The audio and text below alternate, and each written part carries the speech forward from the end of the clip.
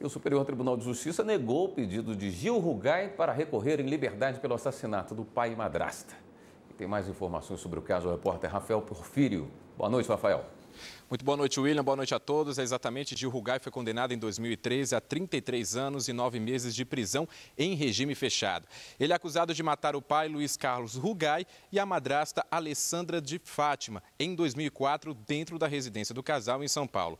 Após ser condenado, Rugai recorreu, mas o Tribunal Paulista determinou a prisão imediata. A defesa entrou com pedido de habeas corpus aqui no Superior Tribunal de Justiça e a quinta turma aceitou que ele recorresse em liberdade. No entanto, por causa da decisão no STF, que autoriza a prisão de condenados na segunda instância, o juiz determinou a prisão. Rugai recorreu novamente ao STJ, mas, para o relator do caso, o ministro Reinaldo Fonseca, não há como desconsiderar a decisão do STF e, assim, negou o pedido dele para recorrer em liberdade.